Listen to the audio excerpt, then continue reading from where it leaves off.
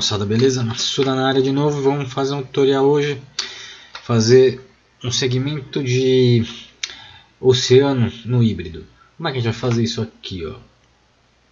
Bem tranquilo, Vou mostrar para vocês. Eu vou importar aqui o iate Esse cara. É, Eu importei esse modelo de um do Maya, mas pode ser qualquer outro software 3D, ele tem essa animaçãozinha aqui, tá? E aí, eu vou colocar aqui 120 frames. E aí o que eu vou fazer? Eu vou colocar o vou criar aqui um OpenCube, né? Então eu vou vou colocar ele aqui uh, aqui na posição vou baixar ele aqui vou jogar ele um pouquinho para trás. O que mais que eu vou fazer aqui? Vou escalar ele vou colocar aqui uns 65 uns 8 um meio aqui e uns 19 aqui.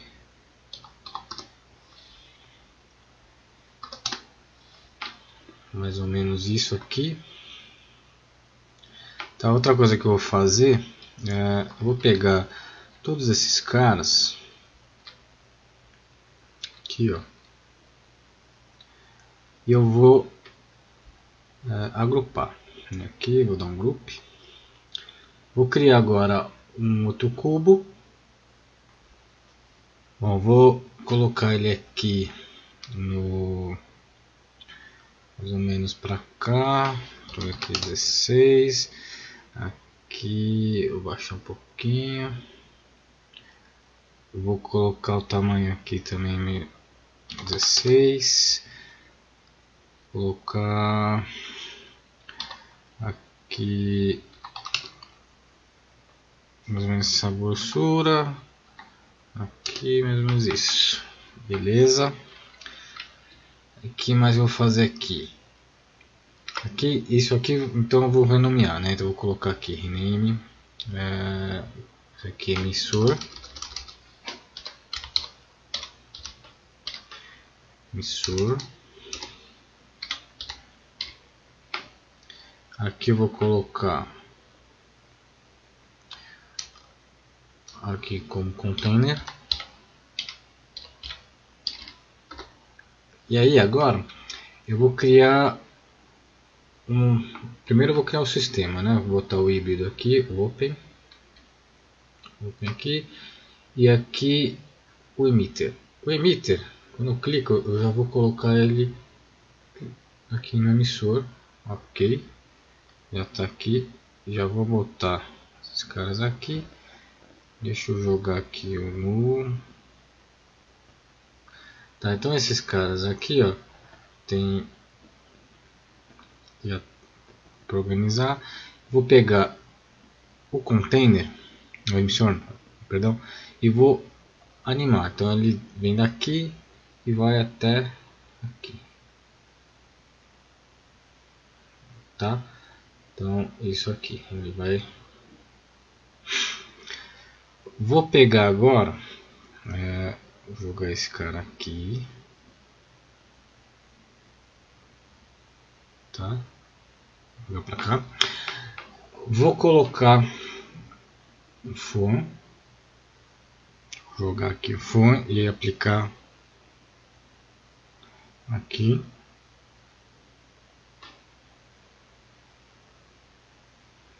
Tá, beleza? Vou fazer uma outra parada aqui que é o os diamonds. Vou colocar gravidade. Vou colocar aqui o K-volume. Então, o que, que eu vou fazer? No K-volume, eu vou pegar esse cara e vou dar uma escaladinha nele.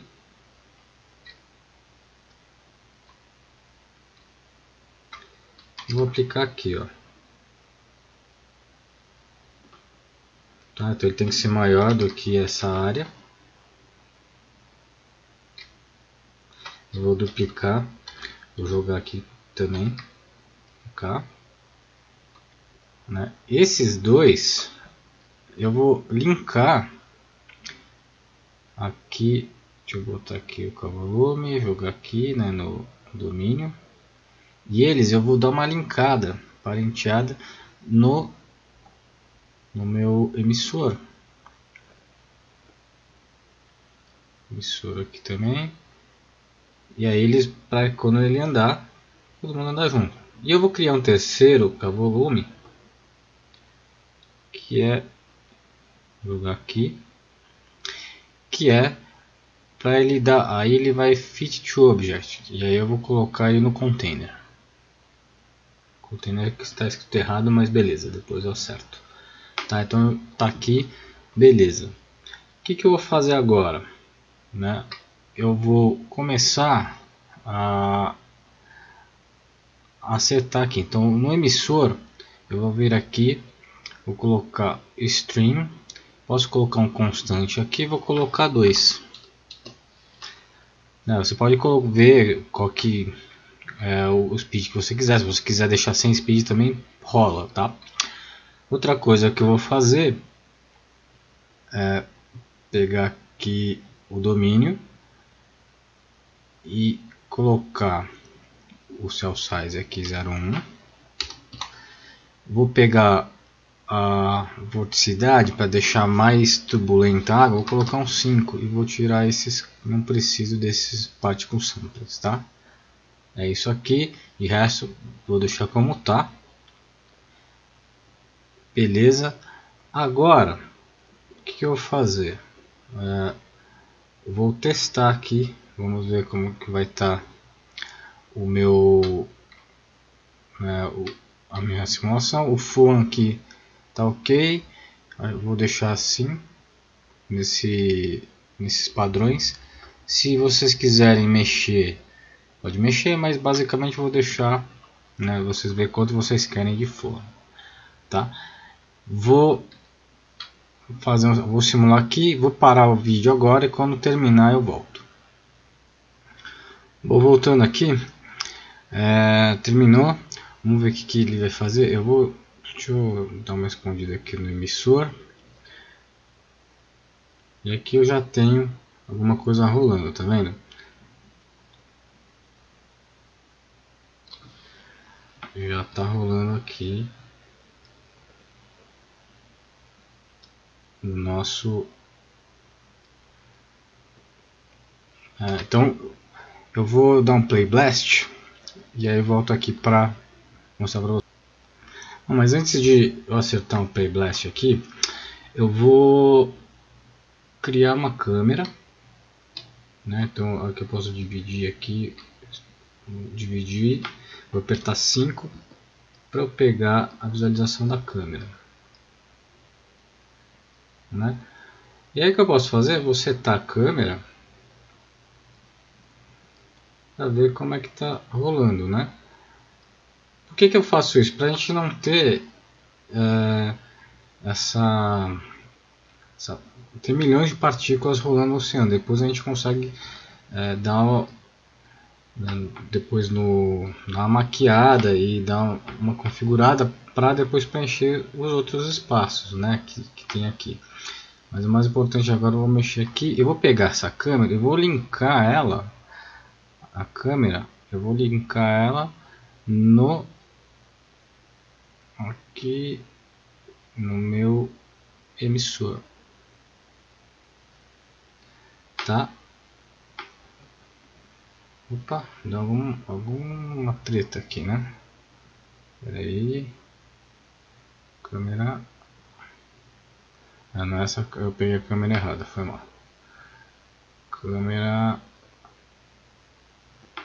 5 na verdade é essa aqui que eu quero essa aqui perspectiva e essa que eu quero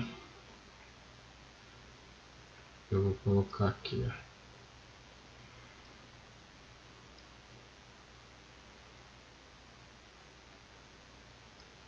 vocês podem mexer aqui por aqui, é mais fácil de, né, de movimentar a câmera e tal. Estou mexendo aqui pela viewport porque eu gosto de ver o que a câmera está vendo, né? Tá? Mas vocês conseguem mexer por ali também. Então, beleza. Eu vou essa aqui que eu vou parentear, né? vou parentear na no emissor. Epa, não, coisa rolou estranho, mas rolou aqui, tá? Beleza, então vou fazer agora o blast, né? O, fazer e aí eu volto para mostrar para vocês como é que ficou. Notando aqui, então ele fez isso aqui pra gente, ó. Beleza? Está se comportando legal. Eu vou agora colocar a mesh. Vou colocar aqui a, o EBD, né? Vou colocar aqui. 02 agora vou colocar aqui. Deixa eu ver. Aqui vou tirar aqui esse polygon size. Eu vou colocar aqui 03 e aqui auto part radius esse tem, ele tem que ser o valor 1.5 desse valor. Então aqui vai para 0.45 tá? Aqui qualquer coisa vocês tiverem dúvida aperta o F1 aqui e ele te dá essa essas informações tá? Beleza então eu vou calcular agora a malha e aí eu volto. Beleza? Voltei aqui ele fez já aqui o, o cálculo tá? Vou mostrar aqui como é que ficou. Basicamente isso aqui.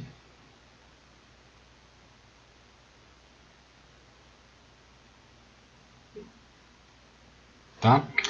Então, se vocês quiserem fazer mais, né? É, mais tempo, mais frames, é só adicionar. Tá rolando. Agora o que a gente vai fazer é aplicar os materiais, né?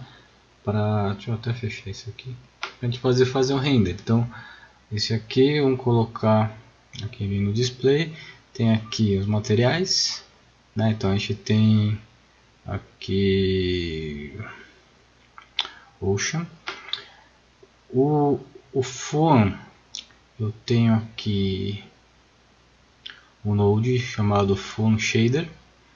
Se você não tiver, você consegue baixar no site do da Next Limit, mas eu vou deixar aqui na descrição. É, aqui a gente pode começar a colocar, né? Então, esse no barco, vou colocar aqui um branco. No water não, né? White paint. Aqui eu vou colocar um, um cromado. Tá posicionar aqui o, o certo, né?